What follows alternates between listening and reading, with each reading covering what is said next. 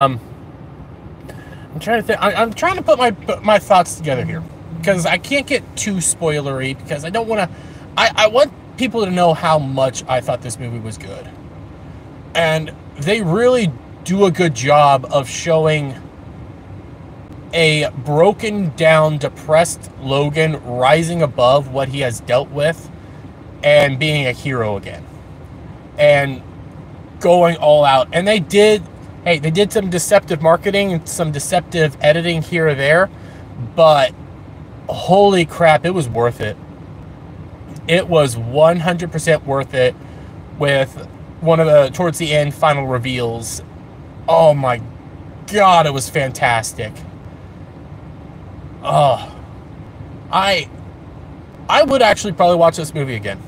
That's how good it was, and that's how amazing of a fun time I had. I, I never saw myself like frowning or uh, feeling bored.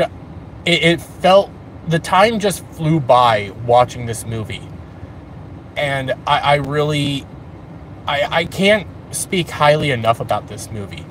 And then I'll, I'll say though, no, actually, I was gonna say how they beat the villain. Eh. There's a parts of it that I like, parts of it I don't like, and things of that nature.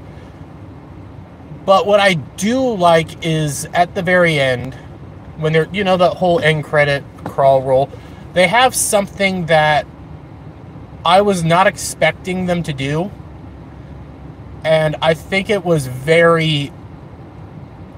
It, it was done in a way that was very uh, courteous, and shows you that they did go into this movie thinking about how much these guys mean to people, and how fantastic of a time they had making the Fox X Men universe. And the other universes for crying out loud, and the other Marvel movies that aren't MCU they they have they even show some of the bad times, but they show like all the you know all little homage to all those guys from the past and make you feel good.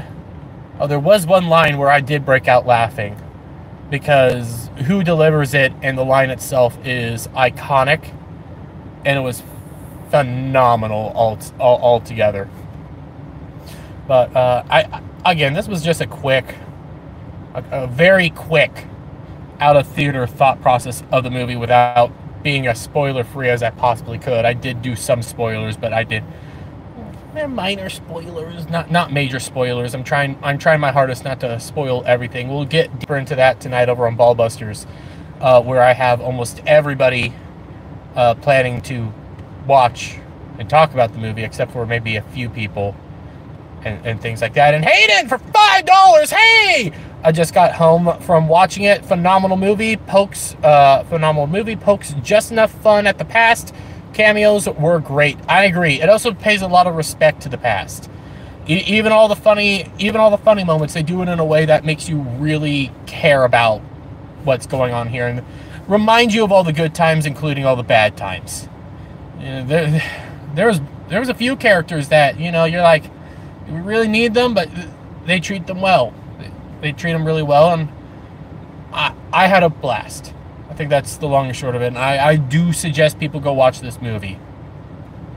Main, my main criticism is the villains were kind of lacking. So th- there's that. But how the hell do I end this stream? How the hell do I end this? But oh, as I try to figure that out, and thank you again, Hayden, for that five dollars. Eight eight out of ten for you, says Hayden.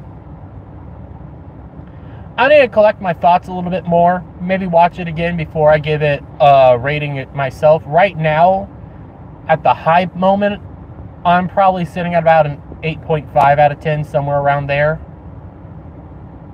Highly suggest this movie, but if I truly think about it a little bit more, it might my thought process might change a little bit here or there.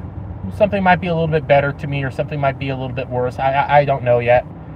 Uh, still need to process some stuff and also watch it again, which I, I, will be watching it again. I can't praise this movie enough, but in the meantime, guys, again, quick stream, trying to figure this out. I need to do these more. Uh, Dom says 7.5 out of 10. I think that's respectful.